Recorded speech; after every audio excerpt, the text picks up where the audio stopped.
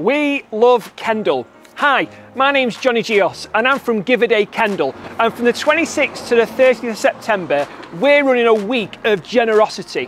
Whatever you've got on your hands, bring it to the table. Whether you've got an idea to paint a fence or doing a garden makeover, or you'd like to volunteer for a day within that week, we'd love to hear from you. But we'd love to invite businesses and charities and individuals across Kendal to get involved, to submit ideas, but also say, I'm willing to spread a bit of generosity at Give a Day Kendal this year.